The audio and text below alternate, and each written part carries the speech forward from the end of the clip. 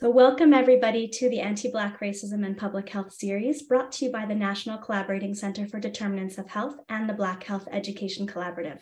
My name is Pemma Muzumdar, and I'm glad to be your host for this series. Um, I'm a knowledge translation specialist at the National Collaborating Center for Determinants of Health. Oops, my slide. There we go. I'm a knowledge translation specialist at the National Collaborating Center for uh, the Det- Determinants of Health, which is located in what we now know as Antigonish, Nova Scotia, in Mi'kma'ki, the ancestral and unceded territory of the Mi'kmaq people. And this territory is covered by the treaties of peace and friendship, which Mi'kmaq and Wolastoqiyik peoples first signed with the British Crown in 1725. The treaties do not deal with the surrender um, of land and resources, but in fact recognize Mi'kmaq and Wolastoqiyik title and establish the rules for what was to be an ongoing relationship between nations. While I am speaking on behalf of a center located in Mi'kma'ki, I am physically located in Tiohtià:ke, known as Montreal, on the unceded lands and waters of the Kanien'kehá:ka Nation, a place which has served for a long time as a site of meeting and exchange amongst many First Nations, including the Kanien'kehá:ka of the Haudenosaunee Confederacy, the Huron-Wendat, the Abenaki, and Anishinaabeg. I take this land acknowledgement as an invitation to engage with the truth about colonization in what is no, now known as Canada and consider what that means for reconciliation. And recently, I've been learning more about who was colonized here, and I've learned that slavery was established in what was is now known as Quebec, where I live, through a royal mandate by Louis XIV in 1689. And in the years that followed, including when those treaties of peace and friendship were signed in Mi'kma'ki, um, Black people were either enslaved or fleeing from being enslaved in what we now know as, as Nova Scotia. So for me, understanding that history of racial and colonial violence and how these systems have manifested harm for both Black and Indigenous peoples is in dis- distinct and, and, and significant ways is important because the center that I represent, the NCCDH, recognizes both racism and colonization as drivers of health differences that are both avoidable and profoundly unfair. And so at the NCCDH, we strive to support the public health community in addressing both structural and social determinants of health. And this is to bring about, at a societal level, improved health and health inequities, um, uh, improved health and reduced health inequities, rather. So um, I just thought it was important uh, uh on a personal level to kind of um, bring that reflection to this space. And I also want to very quickly mention that if you want to know more about the National Collaborating Centers for Public Health, um, there are six of them. that each work across Canada. You can go to nccph.ca. We're very happy to be hosting this webinar series in partnership with the Black Health Education Collaborative. And we will continue to support work in this space with the public health community after these webinars. So we have three speakers for this series, for this um, series, um, and they're all featured here on this slide. Dr. OmiSoore Dryden, Dr. Onye Nnorom, Samiya Abdi, um, you see their faces here, and I'm going to tell you a little bit more about Dr. OmiSoore Dryden and Samiya Abdi, who are our speakers for this series, uh, for, for this webinar today.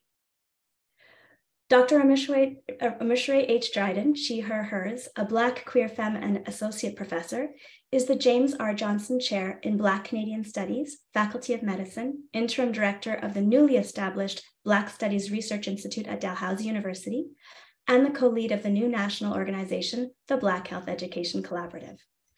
Dr. Dryden engages in interdisciplinary scholarship and research that focuses on Black LGBTQI communities, blood donation systems in Canada, anti Black racism in healthcare, medical education, and Black health curricular content development. Dr. Dryden has published in peer reviewed journals and book collections and has an edited collection with Dr. Suzanne Lennon, Disrupting Queer Inclusion Canadian Homo Nationalisms and the Politics of Belonging, published by UBC Press in 2015, and the co authored commentary with Dr. Onye Nnorom, Time to Dismantle Systemic Anti Black Racism in Medicine in Canada, published in 2021 in the Canadian Medical Association Journal, and the article titled Who Gets to Do Medicine? Black Canadian Studies and Medical Education in the Special Forum on Black Studies in Canada in the academic journal Topia, Can Canadian Journal of Cultural Studies in 2022. Samiya Abdi is the executive director of the Black Health Education Collaborative. Over the past 15 years, Samiya has been working towards making the public health system more equitable, challenging, and inter challenging intersecting forms of oppression and understanding marginalization in knowledge production, research, and practice. Prior to joining the Black Health Education Collaborative, Samiya was the Senior Program Specialist in Health Equity for Public Health Ontario.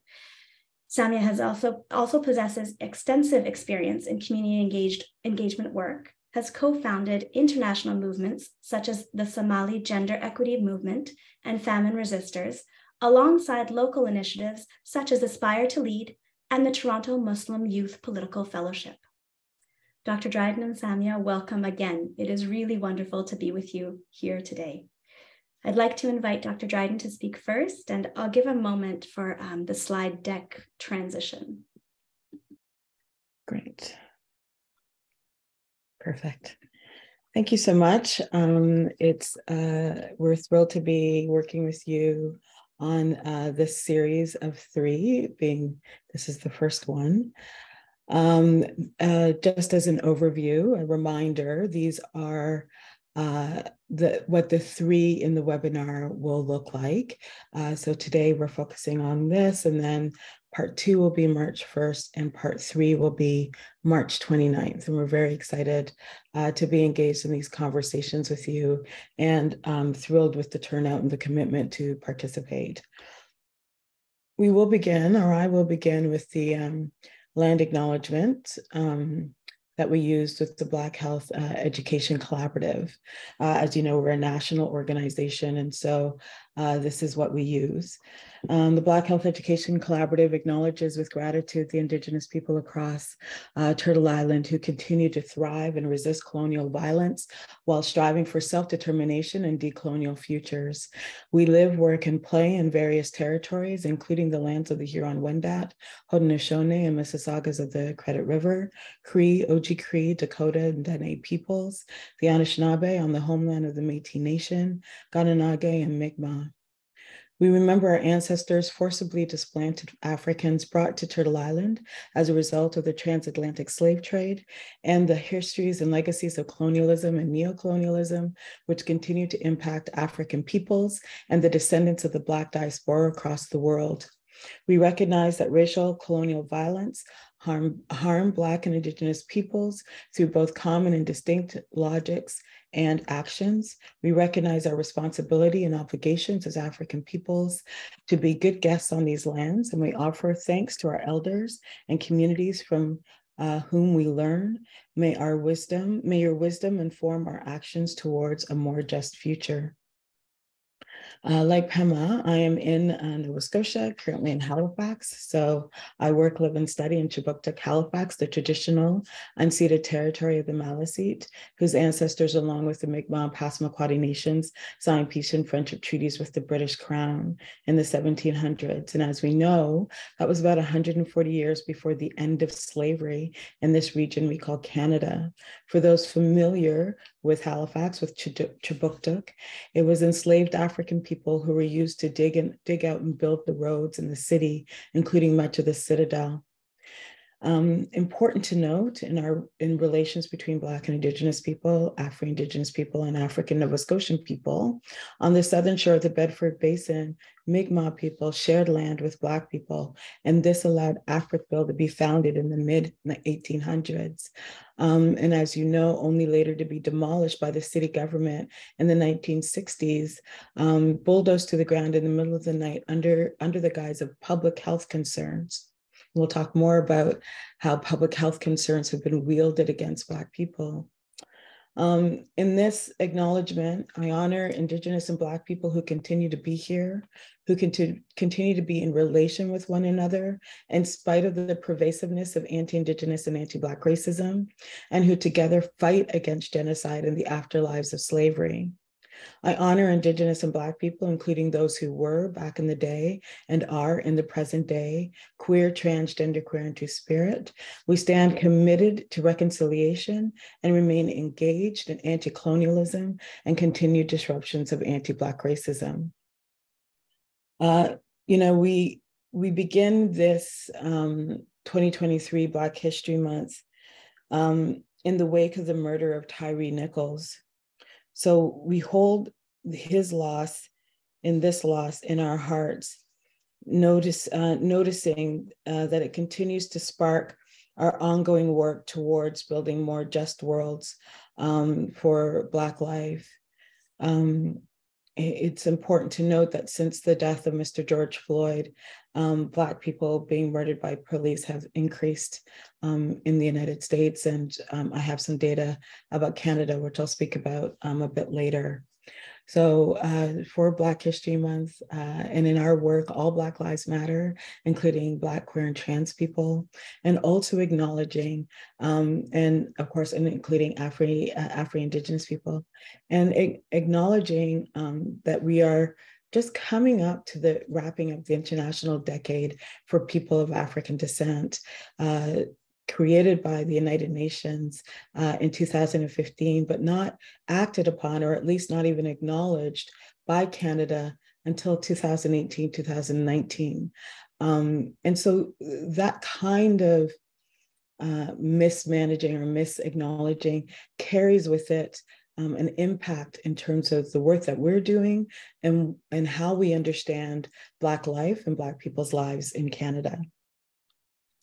So our objectives today are to learn about the Black Health Education Collaborative, identify the historical roots and legacies of anti-Black racism uh, in the field of health, medicine, health, healthcare, um, access to health, understand how anti-Black racism is demonstrated in the current context, and explore critical race theory and intersectionality as it pertains to the structural and social determinants of Black health. Uh, neither Samiya or I have uh, any conflicts of interest to disclose. And I will turn this over to Samiya. Thank you. Hello, everyone. Uh, so thank you so much, uh, Pemma and Dr. Dryden. Uh, my name is Samiya Abdi, and I am located in Toronto, Toronto. Um, so, and thank you, Dr. Dryden, for um, you know starting us off with a land acknowledgement that recognizes um, bo both uh, the um, indigenous, um, the two types of colonization, which was one the colonization of the land and the people here, how and, and similarly the second part of it being uh, the forcible removal of our ancestors uh, from their homeland and um, their enslavement and colonization in this land. Um, so I would like to just go on to uh, share a little bit about the Black um, uh, the Black Health uh, Collaborative and some of our. Um, I'm just trying to um, so next slide. So we're a, a, group of Black scholars, practitioners committed to transforming how um, health uh, education is done in this country. Uh, particularly, we are focused on um, the medical schools and public health schools, but also expanding very quickly to other healthcare professionals. Um, this is the makeup of our board, uh, Dr. Onye Nnorom, Dr. OmiSoore Dryden, Dr. Delia Douglas, um, myself, Samiya Abdi, Dr. Barbara Hamilton, Dr. Gaynor Watson Creed, and Dr. Kannin Osei Tutu. And if you can see the diversity of uh, and the representation in terms of both um, specialties as well as uh, localities in terms of um, being a national organization. Next. Um, as we know, uh, Black Canadians uh, are the third largest racialized um, group in Canada. We have experienced and continue to experience anti-racism, um, systemic anti-racism in all walks of life. As public health professionals, we understand that our health is not determined only by biology or physiology, but by the conditions that allow for health and wellness to, to be uh, manifested. And uh, the way that um, Black health is experienced is, is, in this country is linked to that legacy that we spoke about and will continue to speak about for the next hour or so around slavery and colonization. Um, and in terms of uh, knowing that we continue to be absent from, uh, particularly Black health continues to be absent from how medical and, and public health education curriculum is structured in this uh, country. Uh, some of the work that is coming up um, from the Black Health Alliance is a survey that we've done with um, the Black health um, schools, uh, uh, medical schools across the country and public health across the country, asking the question of how much of their curriculum is focused on um, Black health, and you, I don't believe you'll be surprised on how little that is a reality. Our scholarship is uh, based on the critical race theory, and we know that is something that is being barely picked up by, by medical education, and very, very little of, of that is actually being seen in within public health education. Next. So what we do is this we have these are the three pillars that we work with. We understand, um, we create platforms to understand Black health and Black life and know that Black health and Black life are intricately connected. We draw on a long history of um, community activism and uh, uh, academic scholarships and resistance. Um, Dr. Dryden and many of other our board members have been doing this work over 30 years, but uh, even before then, um, before them, um, academic black academics have been doing this for centuries. So we draw on that lo long legacy of knowledge. We address anti-black racism and interlocking systems that we just mentioned around health well-being from communities across Canada. Um, our values are linked to our mission. The idea is that Blackness and Black lives matter. Uh, our ways of knowing are rooted in Black and Afrocentric knowledge. Uh, we believe in autonomy and self-determination of Black people. We believe in the integrity um, and our ways to navigate how health works in this country with courage. We are uh, big proponents of innovations and different ways of learning and teaching we believe, and this is of course in our name, we believe in collaboration and building and relationships that are sustainable and that lead into action, not only knowledge. Next.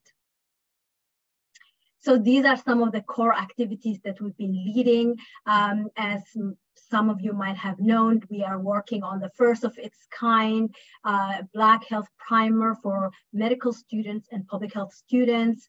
Uh, we are also working on an anti-racism pedagogy, um, particularly for those in faculty that teach Black health and anti-racism and anti-Black racism work. We offer continuous professional development for cl clinicians, for public health pro professionals and practitioners, similar to the work that we're doing with the NCCDH today. Um, we are working with the Medical Council of Canada to develop national learning objectives in Black health. And we're also uh, about to launch at the end of this month uh, a community of practice for educators, particularly. Next. Uh, these are just examples of some of the research and scholarship that our team and our board and our leadership has been undertaking. Um, we are working on a community voices um, amazing uh, stories across the board in terms of both of resistance and as well resilience and, as well as negative experiences that people across the country have had with other our medical and public health system. Uh, so that will be uh, that is a project that is underway. We have um, successfully and this is again for the first time had an opportunity to uh, usher in um, a special issue on uh, addressing black anti-black racism and health Health with the Canadian Medical Journal uh, Association Journal. And Dr. Dryden, Dr. Onye had led a lot of this work and the rest of our board. So you can check out the two um, part um, volumes that came out um, the end of last year in October. Um, so we wanted to also thank, we do work with uh, incredible amount of um, Black scholars and leaders across the country and have been, uh, we have a scientific advisory committee, we have um, a community of practice that is coming along, we have external reviewers, so we do not believe in working alone. We are always looking for collaborators and uh, co-conspirators to really um, address and confront anti-Black racism systemically and welcome any of you who are on this call to reach out to us for future collaborations. So we continue to do this work around, uh, there's also, um, uh, we will continue doing this work and there are some articles underway around that will be published in the Canadian Medical Journal of uh, Education Journal, the Academic Medicine, um, and continue to center uh, critical race theory and Afrocentric ways and of knowing. And I just wanted to add here that there is a group of um, scholars uh, who uh, we've been in conversation with who'll be uh, working with Canadian Public Health Journal um, for a special issue on um, Black health and anti-Black racism. So just, uh, I know it looks very medicine-y here, but we are um, also uh, in groups that are working on this in public health. So, all right. Thank you so much, Samiya. Um, so this is a QR code. We're going to go to Mentimeter now, which means I have to do, I have to like stop sharing and then sharing and then all of these things. Um, and of course, we are the Black Health Education Collaborative. And so while we are rolling this out, we are starting with medicine and public health. And of course, we have a really vibrant plan to focus on uh, health practitioners broadly dentistry, pharmacology, physiotherapy, nursing. We're, we're in that. All right, so I'm gonna stop sharing this. I hope everybody has accessed the QR code. If you've not, the link is in the chat. So this is your first question. Which of the following um, best describes the racial, ethnic, uh, indigenous community uh, to which you belong? Much like Stats Canada and the work that we've seen through CIHI, ethno-racial identities tenuous in terms of the kinds of words we use to describe our own backgrounds. And so in this list, we've attempted to mirror what we see at CIHI and mirror what we see in StatsCan. Um, but honestly, it's to give us a sense in terms of who's in the virtual room, um, who are in your own rooms in terms of decision making, practices, application, things of that nature. So we have around 607 people who are in the virtual room we have about 409, 10, um, 11 who uh, answered this question. So let's see if we can get to 500. As I said, there's 607 uh, in the virtual room. Uh, let's see if we can get to 500 in answering this question. Um, so what we what is also important to notice here is if you are decision makers, leaders in the work that you're doing, uh, practitioners in the work that you are engaged in, um, who are you doing that work with? Part of um, engaging in disrupting and identifying and understanding anti-black racism is by is to make visual, if you will, to bring out into the open who is actually sitting around the table? Um, who what is the ethno-racial diversity of the people sitting around the table? Our decisions around black health black health protocols um, Af- um, afrocentric uh, you know uh, culturally appropriate protocols that are being put into place are those decisions being made predominantly predominantly by non-black people non-people of color white people is what I meant. And so this this exercise uh, gives us a sense in terms of who are in our rooms, whether that's physical spaces or virtual spaces. So we're about 469, 470, just wondering if another 30 people out of the 608, sorry, who are in the room um, can also uh, tap into the Mentimeter uh, the link to, if you missed the QR code, the link to the Mentimeter is in the chat.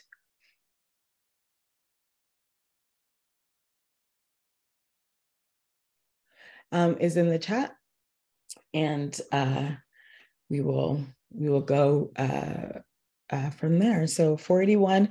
So just probably another 15 uh, people if you can join.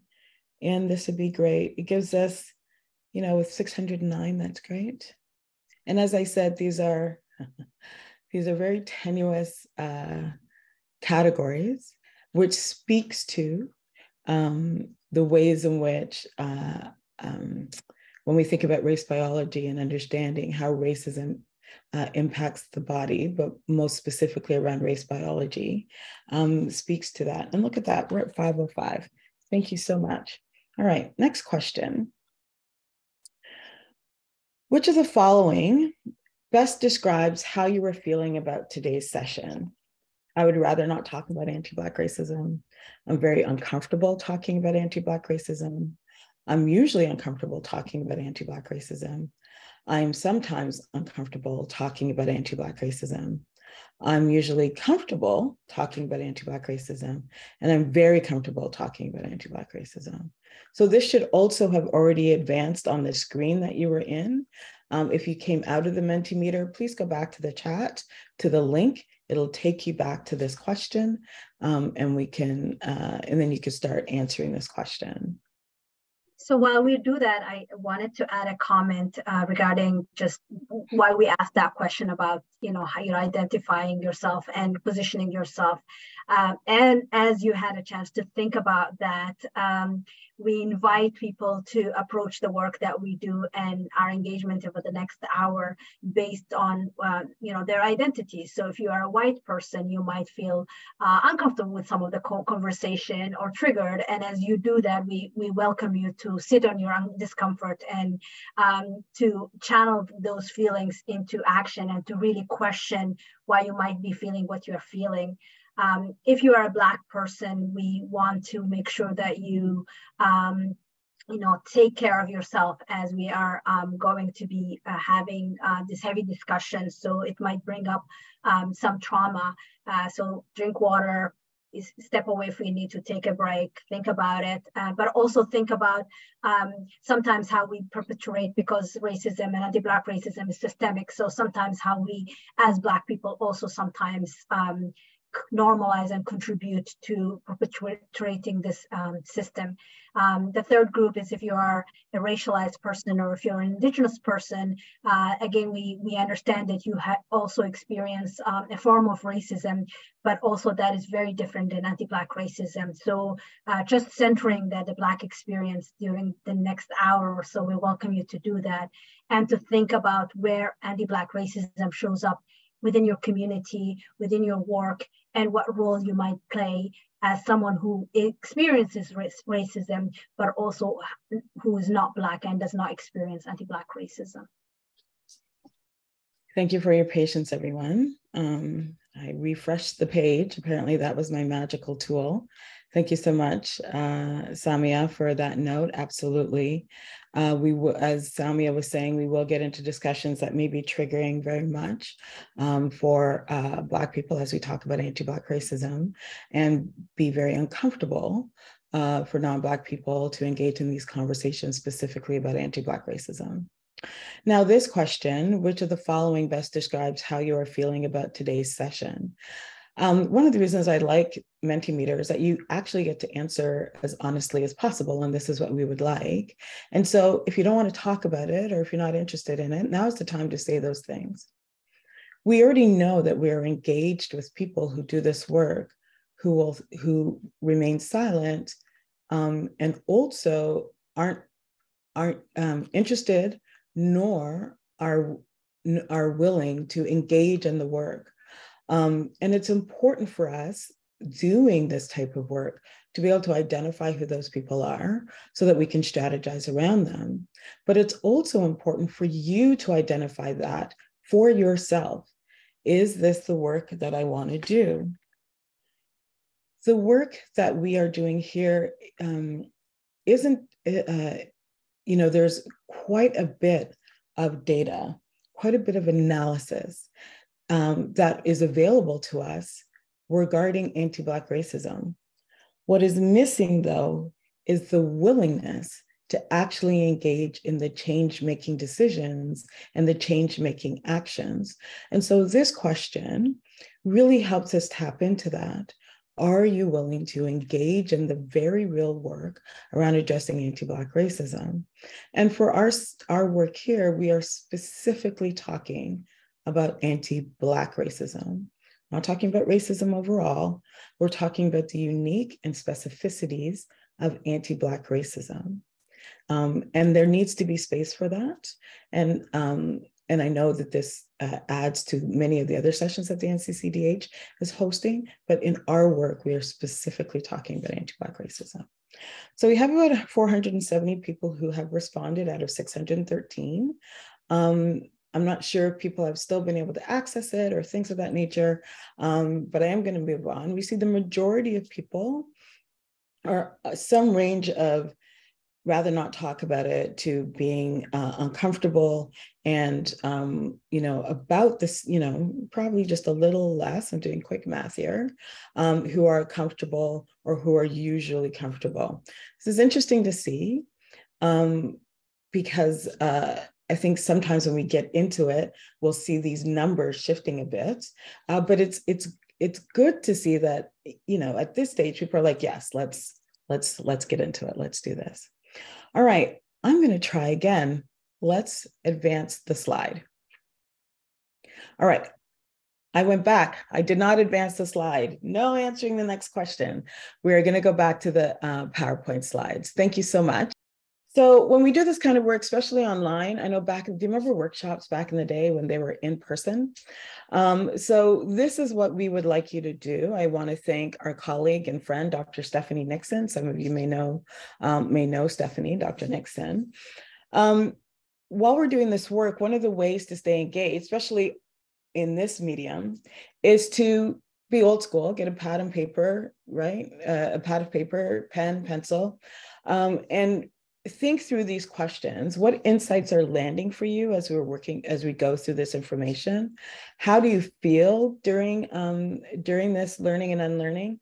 I know we're asking about feelings uh, but feelings will give us information about where our resistance to learning and unlearning is or where we are open to learning and unlearning. And also thinking through what are your next steps for learning in action. So, you know, for those of us who have taught in the past or professors um, or who engage in this kind of um, education, we know that learning is not a passive action. And we also know that learning is about taking up the actions yourselves personally taking up your learning personally so while we may be while we are providing you direction and guidance and you know pointing you along a particular path what happens here will solidify for you, become tangible for you as you yourself take it up and try some of these things out. And also look for more additional information to expand your own growth and to expand your own skills. So please think of these questions as we move through. So as I was saying, you cannot get to anti-racism. We want to talk, we talk a lot about equity, diversity, inclusion and anti-racism practice and anti-racism leadership. However, you cannot get to anti-racism without reckoning with anti-Black racism. Anti-racism theory, practice, analytics came out of Black radical tradition, came out of Black radical work um, uh, in terms of structuring it and creating it. Um, and so it's used in a variety of ways now, right, to address racism. Um, and for us in this work, and I would say other work, you can't get there without first reckoning with anti Black racism. So, what is anti Black racism? Uh, the, the term was coined by Dr. Akua Benjamin, who, who uh, was at, you know, at the university that formerly called Ryerson, which is now Toronto Metropolitan University in Toronto. Um, and she, uh, for those in Ontario or in and around Ontario, you may be familiar with the Stephen Lewis report in the 90s that talks about anti Black racism. Um, many people uh, attribute that phrase to him, but it's actually Dr. Akua Benjamin. So it's important to make sure we're citing who these uh, terms um, uh, originated from. And because what we'll find is uh, there are a lot of Black voices, Black scholarship um, that are involved in that, that have been taken over by uh, uh or attributed to white people. So it seeks to, so anti-Black racism, according to Dr. Benjamin, uh, seeks to highlight the unique nature of systemic racism on Black people in Canada and the history, as well as experience of slavery and colonization of people of African descent in Canada. Anti Black racism is defined as policies and practices rooted in Canadian institutions, such as healthcare, education, and justice, that mirror and reinforce beliefs, attitudes, prejudice, stereotyping, and or discrimination toward um, people of African descent. Samiya. Um, so in the next slide, we just wanted to talk about particularly um, how do we identify me the mechanism of anti-Black racism. Um, um, so as Michelle was mentioning, anti-racism, particularly um, in Canadian context, we're talking about the institutions, we're talking about institutions like uh, education, healthcare, justice, and this idea of reinforcements of uh, beliefs, prejudice, and stereotypes towards particularly people of African descent. Um, here are a list of books that we um, highly recommend that folks who are interested and um, required to actually do this work um, you know pick up and read uh, and also there are um, we are also going to be sending an email with a list of references as well as other additional resources and some homework towards the end. Um, next slide. Um, so we wanted to also um, provide some sort of a mechanism of how to actually approach this work around anti-Black racism and to think about racial health inequities, particularly in health and how they're experienced. So they're experienced through differential um, care in terms of when once people have actually differential access. So the access to healthcare uh, depends on your race as well as differential care. So once the person has access to the healthcare how are they treated in that system? And um, more importantly, differential exposure and opportunities, exposures to uh, adverse health care conditions and opportunities for health and well-being. And if we think about uh, what is the underlying factors for all of that, we think about the structural ways that anti-Black racism shows up within um, healthcare and causes racial health inequities.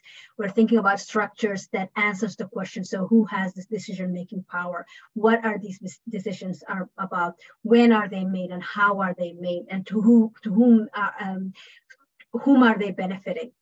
If we think about policies in place, these are the specific written policies that allow for people to continuously experience differential health outcomes. So this is the written policies in place. The practices and the norms are uh, what we call um, you know, latent or, um, you know, underground kind of undercover ways that uh, racialized uh, racial health inequities show up. So these are the under the unwritten rules, uh, the norms, the, the normalization of um, you know privileging whiteness and white um, ways of doing things and access to white people uh, versus black people. So those are things that are not written in policy, however they show up in our practice. And finally, the question of the values, the why, right? And if we go back in the dehumanization of Black people and enslavement of Black people and colonization of Black land, um, including the continent of Africa, um, then the underlying values of why um, come becomes part of that legacy and continues on into our practices, norms, policies, and the structures we have in place to make those decisions. Next. So in the next slide, we just wanted to also talk about um, so in the next slide, we wanted to talk about measuring and studying anti-racism. So to understand the impact, so asking the why and the how, again, going back to that structure that we talked about, the, the mechanism, to better understand the impact of structural anti-Black racism, to assess and report racial inequities, to de develop, modify, and reorient interventions and policies to improve accountability. And for those of you in public health, you will know those uh, mimic uh, some of the public health roles that we know, this idea of identifying, assessing, reporting, reorienting, modifying, developing. Those are the terms that we all um, have to actually study and, and kind of are part of our public health competencies. And if we move to the why or the how do we do that, this idea of um, looking for frameworks, which we will share some today and give you examples. But um, again, this is a journey and, and a one hour to a one hour and a half uh, webinar is not going to do the trick.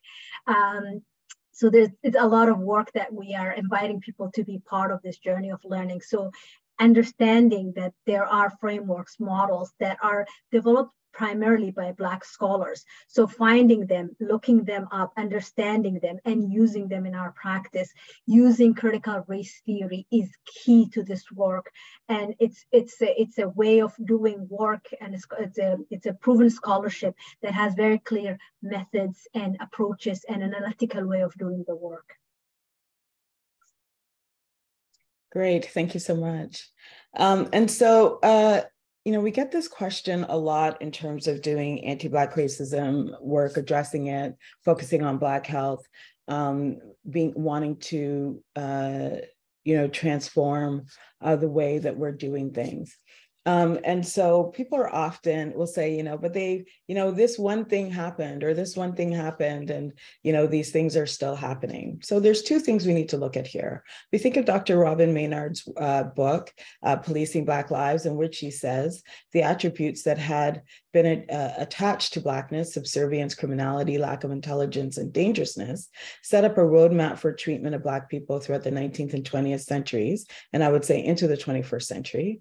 Uh, despite the end of formal bondage, Black people's lives would continue to be devalued, and their movement subject to surveillance and containment, and white settlers and their governments would proactively enforce a racially divided society in which Black lives are worth less.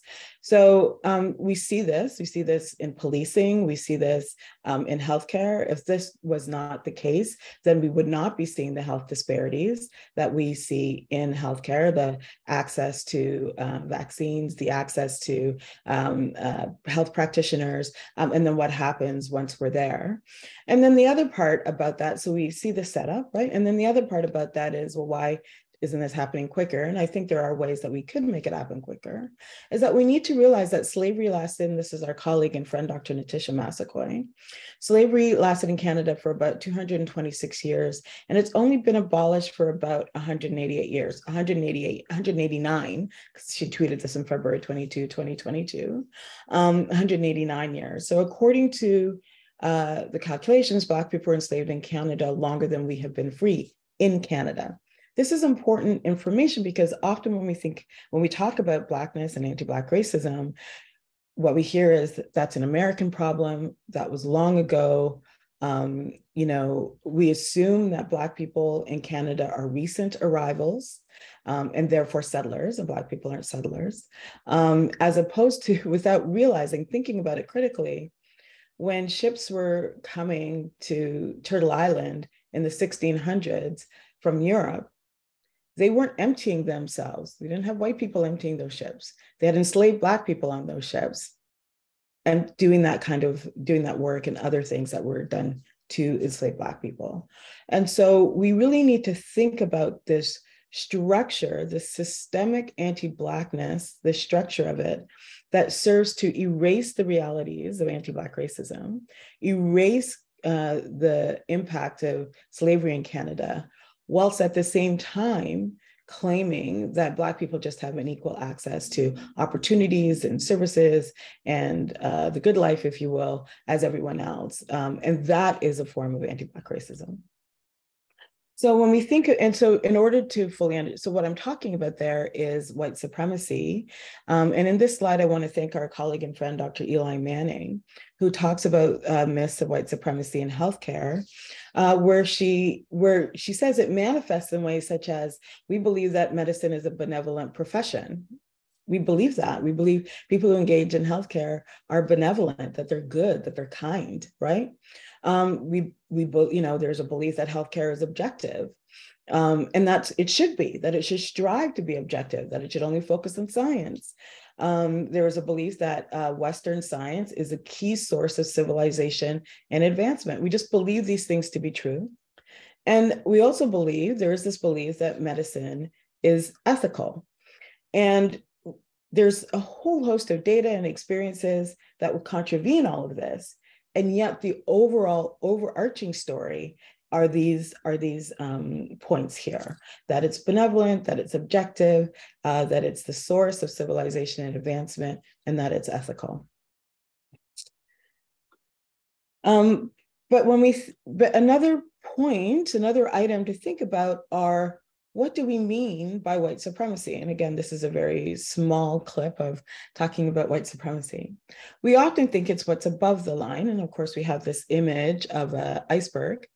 Um, we think it's this part above the line, and we should add police police violence here, uh, lynching, hate crimes, blackface, the N-word, KKK, racial slurs. That's the only time people can feel that they can say something was racist. Did they call you the N word? Was there a policy that said no Black people allowed? And even then, when we're like, yes, they did, or yes, there is, uh, there's still some kind of workaround. Well, maybe it wasn't really racist, but this is often what people think of as uh, racism or white supremacy. But then if you look underneath this, then there are a number of other things that also stand in for white supremacy, assuming that good intentions are enough.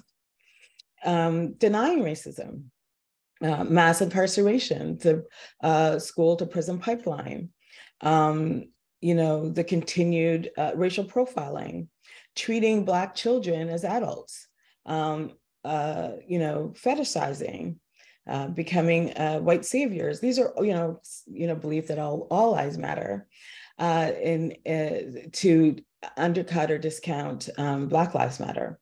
So these are just these are the things that start to poke at this this idea around benevolence, objectivity, um, and and uh, you know ethics. Where did we see this during the COVID? And uh, you're, many of you must be familiar with this um, report from the Black Health Alliance. And I just really want to touch on this part on the on the right, where we see that um, white supremacy and barriers and systemic anti-Black racism had an impact on Black communities in not only in Toronto, but I have this report, but I would say across the country, um, where lockdown measures failed to have an impact on rising rates in racialized communities, public health measures failed to flatten the curve um, because of underlying systemic inequalities, um, and also vaccine rollouts, vaccine access favored um, often urban areas as opposed to uh, uh, rural areas. And this is this this this happened in Nova Scotia, although there were um, uh, interventions made, um, as there were in Ontario, as there were in uh, Winnipeg. There were a number of um, interventions that were made. All right. So go ahead, uh, Samiya. Yeah, so uh, just to continue some of the numbers that we know that particularly in, in Ontario, communities that identified as Black, Eastern, Latino, South Asians, and Southeast Asians had between four to seven times higher rates of confirmed rate or confirmed cases compared to white Ontarians. We know also um, that there was up to nine times more high, higher rates of hospitalization. Uh, in terms of outcomes um, of uh, hospitalization, we know that up to 10 times uh, racialized people had up to 10 times uh, more ICU admissions than white And ultimately, uh, there was 7.6 times more likely um, that a COVID infection had result would result in fatalities amongst Black and, and other racialized communities in Ontario. So uh, when we talked about differential access, differential care, and then ultimately differential outcome, these are some examples that are um, I guess the most prominent or the ones that are closest to our, our minds um, because we have just coming to the tail end of, of the pandemic. Um, however, these experiences are reflected in every other uh, spaces within our healthcare system. Great, thank you. Gosh, according to the World Health Organization, I'm not sure how close we are to the end of the pandemic, but you know, let's be hopeful. But let's do more uh, intervention things. so, what is anti-Black racism, and how does it manifest in medicine? And let's just say medicine and health. Um, and I and I will speak about both. Um, and I'll move through this a bit quickly, um, and then uh, so we can get to uh, something we have waiting. Um, so many people uh, you know, when we think about Canada and we think about medical education, uh, don't put that in context with um, slavery and colonization. So the first medical education program in Canada opened in 1824. However, slavery in Canada doesn't end until 1834. What does it mean that uh, health education in Canada begins at a time and it's prior to that, people would go to the United States or the UK and then come to this region. But health education in Canada begins at a time where Black people aren't actually considered human. Um, we're experimented on. Uh, we are tortured for, uh, you know, medical and health advancement, um, but we we don't have access to um, to give consent. Uh, we're often um, uh, information is withheld from us here. We could think about the experiences with Henrietta Lacks in the United States and um, how uh, they took her cells, her cancer cells. Folks may be familiar with HeLa cells, which have been used to create tamoxifen, which is used for breast cancer treatment, um, without being told, without getting any of the benefits. Uh, John Hopkins uh, University Hospital um, has, you know, people have made millions of dollars on these discoveries and her family has been in abject poverty um, for that entire time. And so um, it's important to note this. The other point i want to say here is because we also get this conversation i get this as a question is well if these things what happened in canada? Uh, can you not focus on what happened in the united states? Can you tell us what happened in canada? It's interesting to me that question because medical advancements or health advancements that happen in the United States are actually used in Canada. It doesn't stop at the border. Um, experimentations, um, research that happens in the United States or the UK actually is used and put to place in Canada. And so, this idea somehow that Canada um, is not benefiting or has not been implicated by systemic anti-black racist practices in medicine and health um, because we you know we don't have as many documented uh, cases here and that's because canada doesn't like to document these things um, uh, is questionable uh, because uh, only in that moment do we think, oh, it's not applicable to us, yet all of the advancements from medicine are used here. For example, if we think, if we look at the upper right, we see um, this image with J. Marion Sims, who's considered the godfather of um, gynecology. Uh, Mr. Dr. Sims um, would uh, experiment on enslaved Black women uh, he would often purchase enslaved Black women, and he was uh, gifted with enslaved Black women. Much of what we know about gynecology today is because of the experiments he conducted on Betsy Harris, Lucy Zimmerman, and Archer Westcott, just to name three, many others.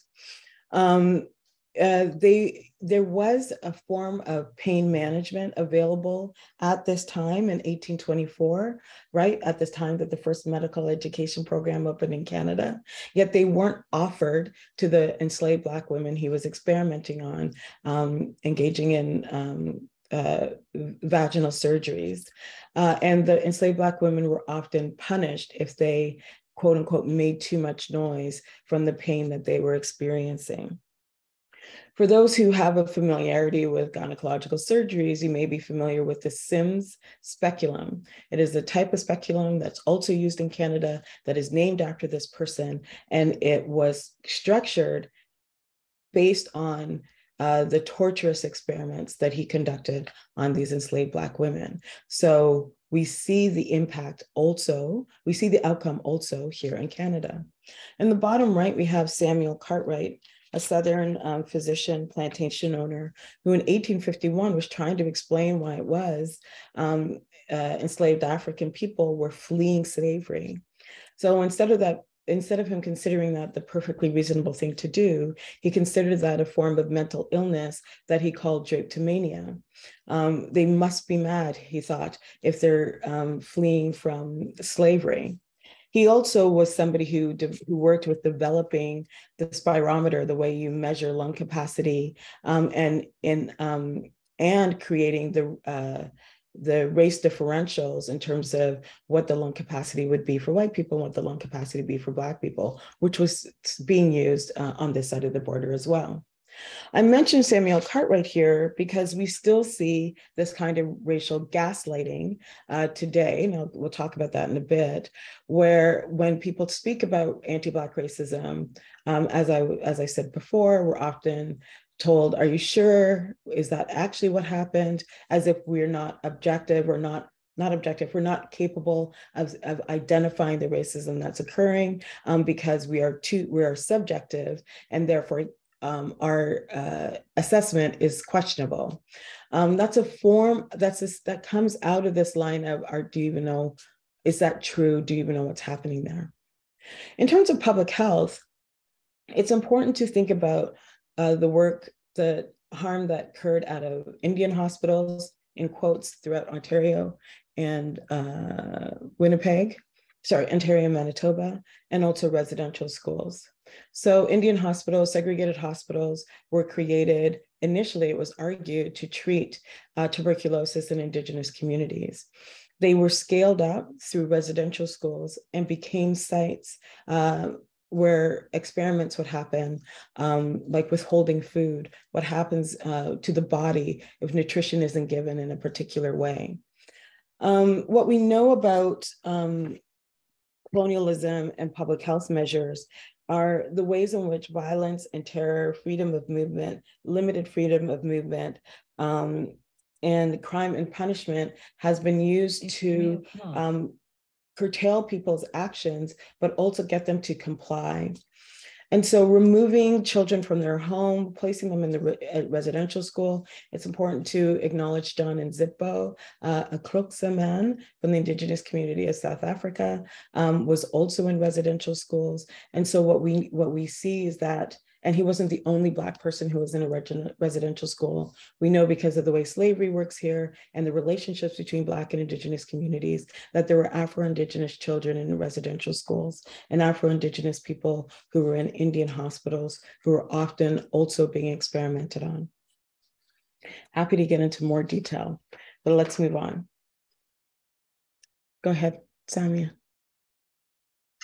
So one of the things that we wanted to, um, at this point, to highlight in terms of a takeaway, that race is neither scientific nor biological, and that health disparities experienced by Black people are the product of structural, systemic, um, injustices uh, and violence and oppression. And um, so these are, and these systems are not accidental, uh, they are not unintentional, they are done by design.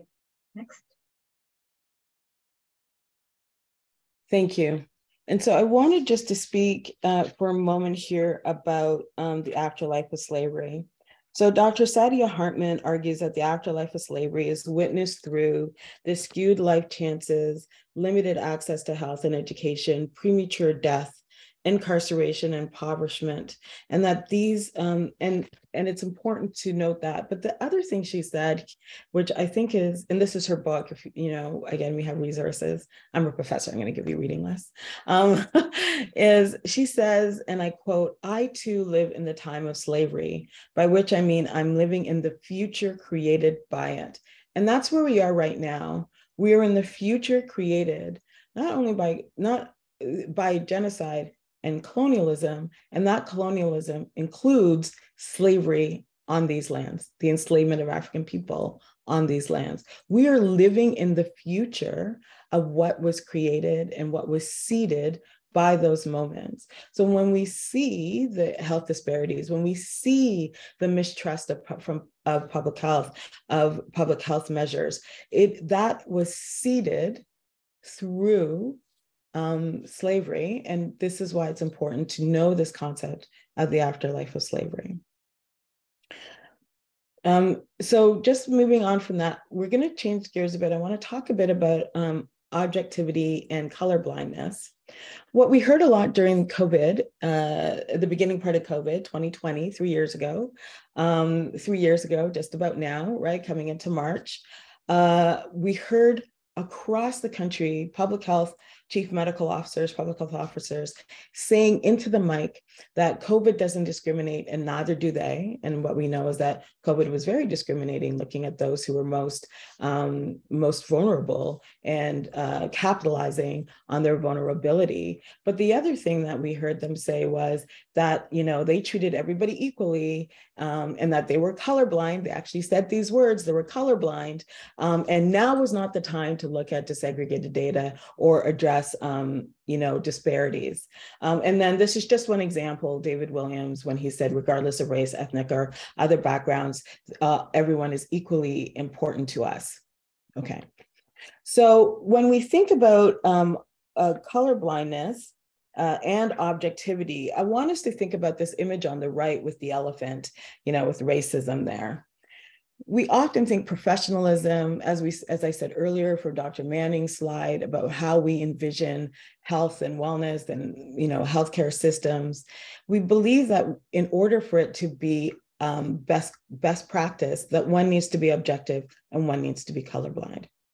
However, the ways in which unconscious bias works and white supremacy works how we've even come to understand objectivity and color blindness is a practice of white privilege and a practice of white supremacy. We think that it's uh, that there is a normal and natural way to um, to do this work. However, when we are claiming that we're being objective or we're being colorblind, we're actually not doing anything to address the racism uh, that needs to be addressed, as is as you see in this picture with people with their back turned away from the racism. It's not effective. It's not an effective practice. Um, and it doesn't do anything to um, disrupt uh, the thing that needs to be disrupted, which is anti-Black racism. So when we turn to the picture on the left, what we're what we are what we're stating here, and what the research states and what the practice states, is that we must name the thing that uh, that we are encountering, and we must name it in its presence and in its structure. So color blindness, you know, is usually a, a, claim that is made because um, they they're usually unaware. People are usually unaware of how racism impacts the lives of Black and Indigenous people and people of color. And to effectively address racism in the workplace and the profession and uh, the protocols, it's necessary to actually engage with how racism manifests in the day to day and how historical issues of racism continue to impact our current moment we are as as the last slide showed us we're living um, in a long line a long history um, a long um, legacy of racism and the outcomes of racism. So as we said earlier right uh, 7.5% of the population uh, in toronto is black 3.5% of canadian population is black third largest visible minority group um, it's important to note that Black people in Canada are not African Americans, unless, of course, they're from the United States, and therefore they are African Americans or Black Americans. Uh, Black people in Canada are Black people in Canada, people of African descent, African Nova Scotians. Uh, what we know is 43% of Black people in Canada are Canadian born, 8.9% um, are third generation or more, Nova Scotia, African Nova Scotian communities, New Brunswick, the southern part of uh, Ontario, Chatham, Dresden. Here we're seeing large historic, long historical uh, Black communities with um, the longest historical Black community in Nova Scotia, the African Nova Scotians. And some of, some people living today in Canada um, are descendants of people who were enslaved in Canada. Um, go ahead. Um, so some of the things that we wanted to highlight in terms of how does this show up in Canada actually, because there's, you know, like debunking that myth that uh, this is an American problem, even though we've done all this work so far, um, is just some of the, the numbers right now that we are um, we, wanted to highlight is that in um, about 20% of Black Canadians reported, um, Black Canadians reported living under um, optimal housing conditions. And that is compared to 7.7 of white Canadians. And when we think about the experiences of youth, um, Black Canadians between the age of 12 to 17 have actually reported moderate to severe household food, food insecurities and that is um, three times more than uh, white Canadians. Equally, and I, I find this particularly uh, an, an, important um, uh, stats to highlight that Black women are more likely than white women to be unemployed or underemployed, regardless of their level of education. So sometimes people think that education, class, or uh, other, um, you know, social determinants um, kind of outweigh anti-Black racism. However, we like to emphasize that anti-Black racism is actually a root cause of all other so experience, adverse experiences of uh, all of the other social determinants of health, whether it's housing, um, encounters with the police, education, or, or employment. So if we think about 8.8% of Black women with a university degrees are un unemployed compared to 5.7% uh, of white women with high school diplomas. Thank you. I'm just we're I'm gonna skip this slide and move on to the next because I know we're about uh, running out of time and I just have a few things to get to. Uh, so in this slide uh, that I just skipped through, we were talking, it says, it talks about how anti-Black racism gets under our skin. And one of the pieces that we want to talk about here is exposure to racial violence. Um, and what we know in this time of continued police violence uh, is it's important to name police violence as a public as a public health crisis. Um, in Toronto, 39.4% of um, use of force incidents are, are against Black people. And as Dr. Notisha Massaquoi um, uh, documented, she sat on the committee who collected this data uh, in June 2022. Toronto police officers are 230% more likely to point a firearm at an un unarmed Black person. Uh, uh, as somebody has said already, uh, it's not that we don't have the analysis, we do. We now need to start making um, uh, significant uh, transformational changes. But that's important to understand when we come to the social determinants of health, which you're all very familiar with. When, you know, when I share this, um, it's important, uh, for, especially in healthcare, we need to know what makes us sick. And 50% of what makes us sick is the social determinants of health, racism, anti-Black racism, the intersection with uh, homophobia, ableism, classism, access uh, to good food. Are we living in food deserts? Are we underhoused? Um, you know, are we living in multi-generational homes? 25% of what makes us sick is access to healthcare or healthcare systems and wait times. And we've all been hearing about wait, wait times coast to coast to coast. And only 15% of what makes us sick is biology and genetics. And quickly, I want to just touch on here that race is biolog- is not a biological truism. Um, it is a, is a social construction. It was created out of racism. Racism created the races. Um, we, we still see the impact of that today with race biology, this idea that Black people have a different genetic makeup than white people. And this is the conflation of race and genetics. And as we know, um, the diversity of genetics amongst Black people, between Black and white people is much more diverse, um, is, is much more similar than the genetics amongst Black people, which is quite diverse. Um, but also the way that we can we see race biology or this belief that race and genetics are the same thing is in this use of the language Caucasian, which comes out of 18th and 19th century um, scientific uh, schools of thought that believed that race was real. And one of the ways they categorized categorize people was using this word Caucasian, and we still use it today when in fact we should be using the word white.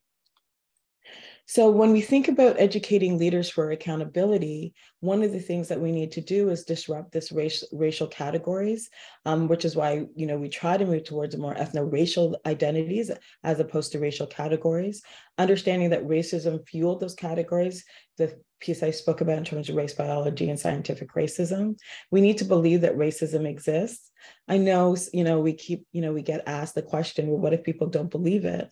Or what if people want to um, undermine it or discount it.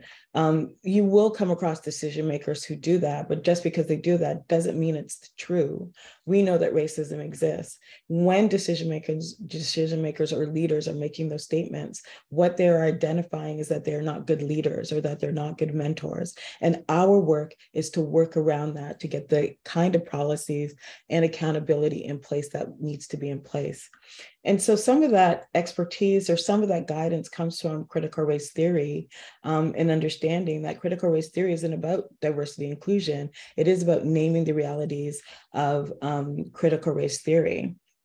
Go ahead, Samiya. We just have about like five minutes, so go ahead. Yeah, so um, we are happy to share some of those definitions, but we just wanted to make sure that we're uh, speaking the same language and that uh, racism is a structure, and also that that there is uh, it's state sanctioned and it's a production that allows people to have differential experiences. We've already talked about uh, white supremacy that allows for white privilege and privileged um, access to goods, services, and um, differential experiences of health ultimately. And finally, we wanted to touch on white fragility, which results from people's inability to um, uh, because of the privilege and the protections that they have led and the protected lives that they have led, uh, being very uh, sensitive towards uh, the word being of, of, racism. So often we experience people get getting more offended by being called a racist as opposed to actually committing access, you know, acts of racism, uh, and also how um, words sometimes are more important than actually uh, violence that are that is um, committed against Black people. Next. Um, so, so in, yeah, in critical race theory, there are four tenets that are important to know. Race is a social construction. Institution systems and policies are designed in ways that reinforce, codify, and perpetuate racism. You all may be familiar with um, it's it's uh, you know the system is working exactly the way it was built to work. Again, this legacy, this um, you know this history, this uh, ancestry of slavery and colonialism, uh, that racism is commonplace. And we don't say that to say it's not important, but we say it to say is that it permeates and manifests throughout everything, every day, and every moment.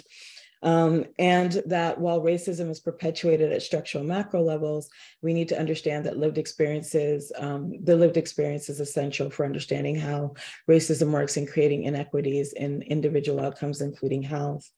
So part of the thing we need to think about is what is the significance of racism in contemporary society today? How can we convey that anti-Black racism is a concern that affects all members of society? And how does anti-Black racism continue to function as a persistent force um, in, in healthcare, um, including in uh, public health? And so, um, you know, this we know that these things have happened for sterilization um, and thinking of African knowledge systems, African indigenous knowledge systems as being inferior, um, as opposed to thinking about how can we center the work we're doing in Afrocentric ways of being and learning. So we're just gonna jump through this, but here's the, we we will share some of our slides with you, but here's the um, just some work on um, what everyday racism and gaslight and racial gaslighting look like. And um, what are some of the goals around anti-racism? Why are we asking for this? And that is um, I won't be able to do that with you, but that is because we're thinking about what does anti-racist leadership look like?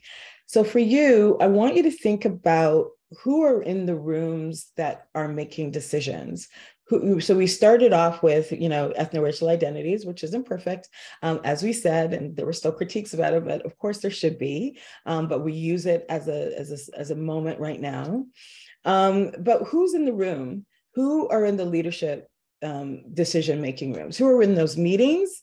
Who's in attendance? Who's in attendance when you're making decisions around addressing anti-black racism? Who's not in attendance? Are those are, are those decisions um, can those decisions stand based on who is or is not in that room? How do you go about shifting that space? How do you go about, um, you know, reconfiguring that space um, in order to make more sound decisions? And that's not necessarily only having more, di- you know, ethno-racial diversity in the space, but it also is about thinking outside of objectivity and color blindness and thinking specifically and directly around what anti-racist thing can we do to make this decision more ap- applicable and more effective? And here are just some ways to understand um, rules around black health um, equity and action around capacity knowledge uh, interventions policies and partnerships. I know i'm moving quickly but i do want to make sure we have some time for questions. Um, go ahead uh, samiya to this slide yeah, so this is just a, a very key um, um, we talked about uh, frameworks and models, and this is an excellent model to think about race consciousness within the public health system as a framework. And thinking about these are the four focuses that we can we need to um, bring to light. That racism is a contemporary issue, is not a historic. Uh, it's something that we are dealing with today. Um, the idea of knowledge and knowledge production, and Dr. Dryden was just talking about whose knowledge are we centering, whose ways of know, knowledge are we uh, bringing forth whose, whose voices are we hearing when it comes to decision making, as well as um, uh, the systems and the policies that we're creating.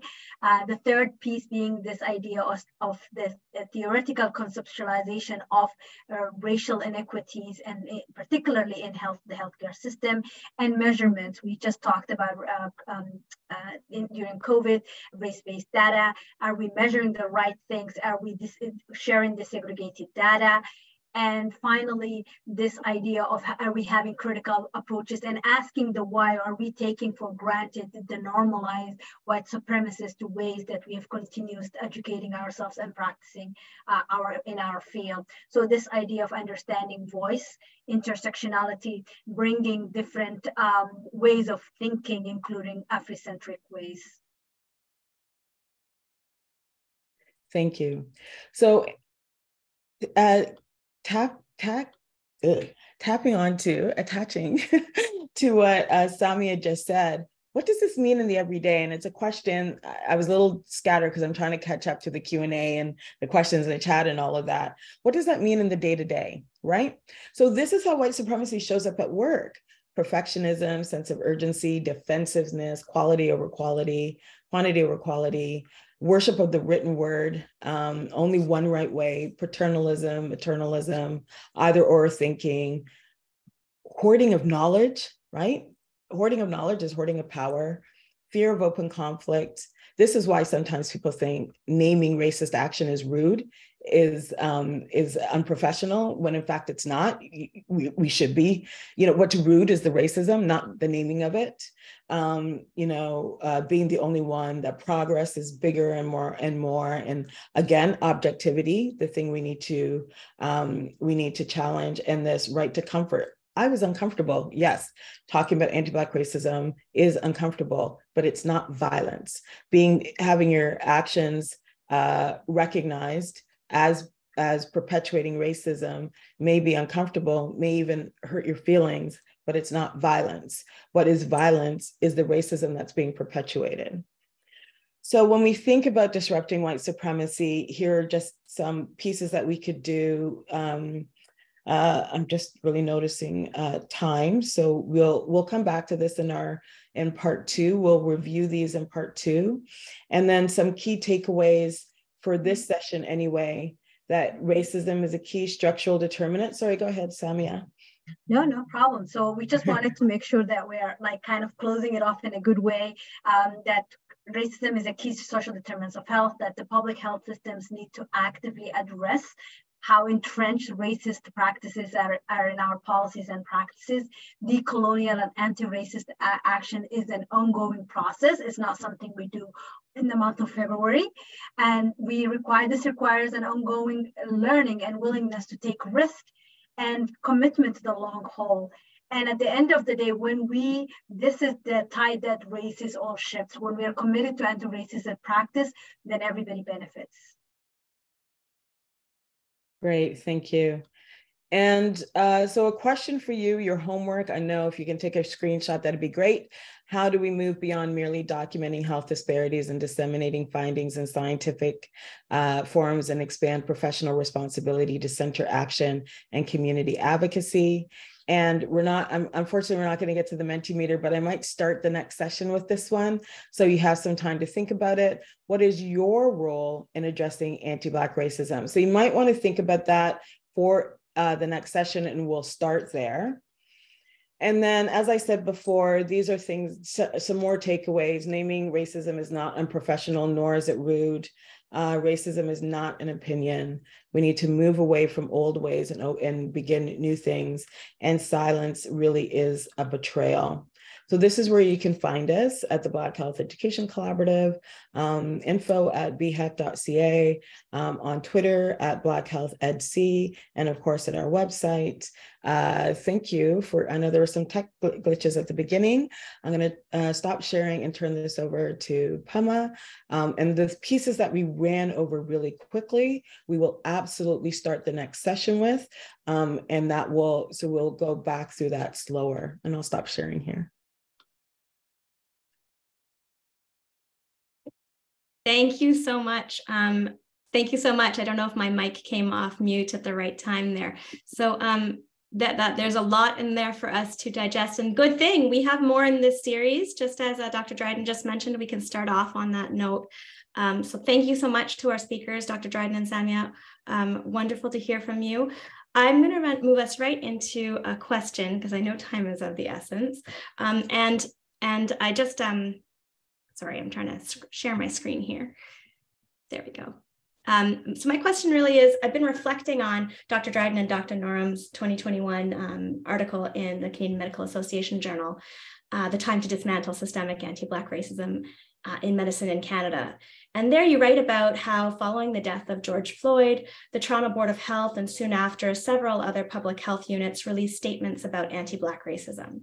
I also read another article uh, from Scholars in the States analyzing the performative nature of such similar statements um, out of higher education institutes in the United States and little concrete change. So I guess what I'm asking is, in what ways do you see public health leaders and public health um, other, like you've already commented on some medical officers of health and what they've said, but um, different kinds of organizational leaders um, resist the changes that are needed and, and and how do you engage with that resistance in a larger context where terms like and i'm combining a, a participant question here critical race theory have been weaponized um, by the ideological right? Yeah that's an excellent yeah that's an excellent question. Um, and and it has been weaponized by the ideo- ideological right. Uh, we've seen a lot of it in the united states. No you can no longer teach african american history or anything like that. Um, and we uh, we see it through um, you know right wing scholars in Canada as well.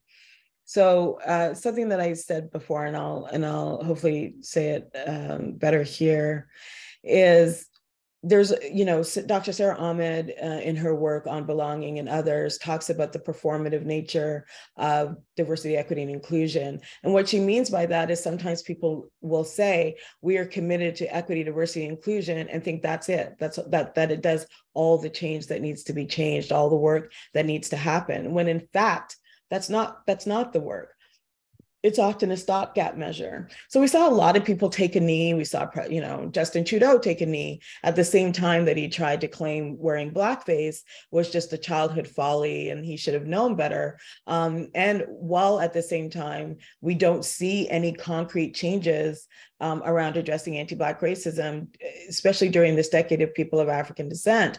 Other countries have brought in uh, protocols and changes around addressing anti-Black racism, but Canada has not.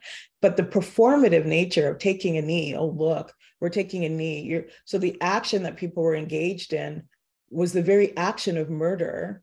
And that's not a radical action, why would we take a knee to simulate the way in which Mr. Floyd died? Why wouldn't we take a fist? Why wouldn't we do something else? And when people did, like Black Lives Matter, not another Black life, they were, we were um, framed as being terrorists and insurgents, as opposed to that being a perfectly responsible response to you know murder um, and we see that same that the same thing with Tyrese so what does it mean then when decision makers are saying, you know, um, we hear this a lot as well. I'm here to listen and learn.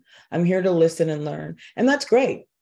Um, we would think that you did that before you became a leader, before you were appointed into a dis- position of decision making. We would think that that would have been the measure upon which the decision was made to put you in a decision making role.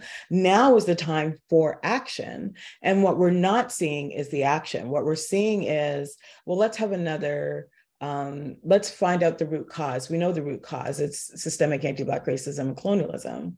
Um, let's have a let's um, do a review. We know the review. We have all the reviews. We have all of the recommendations, all of the steps that need to be taken. And yet, what we see now are people in positions to be able to make those decisions and they're not. And that is the crux of anti Black racism. Because where is the willingness, where is the nerve to actually make this change and do something somebody else has not yet done as a way to completely restructure how we even think best practices should look?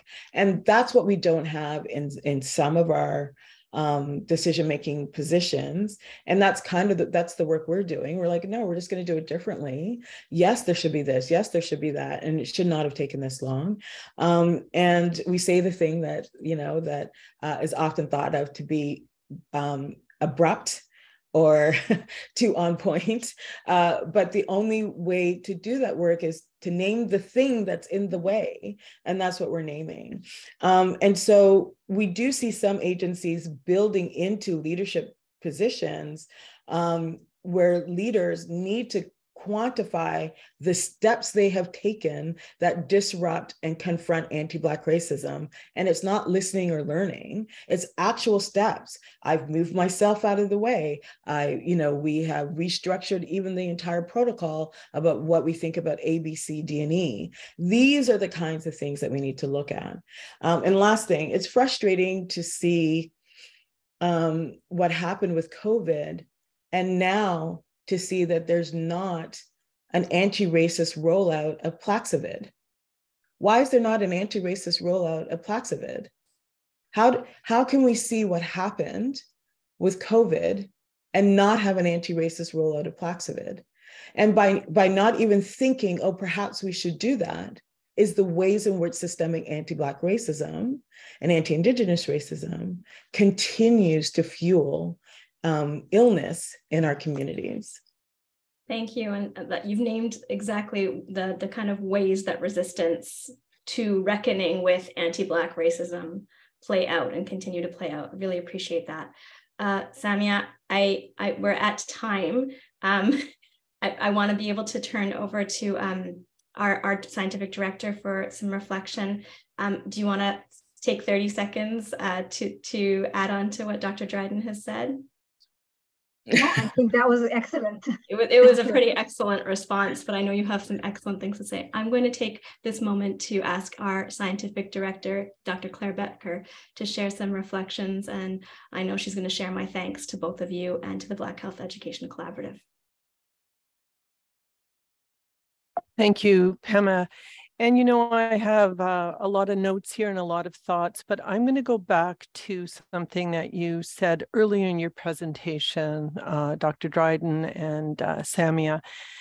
And that was asking the questions that Dr. Stephanie Nixon framed. And so I'm going to leave this session with asking them again of this audience and thanking them for coming today, for showing up today, for being part of this conversation. So, what insights are landing for you? I asked myself that all the way through this. What insights are landing for me? How do I feel during this learning and unlearning? And I think the most critical question that you uh, that you brought Stephanie, Dr. Nixon, into this session is what are my next steps for learning?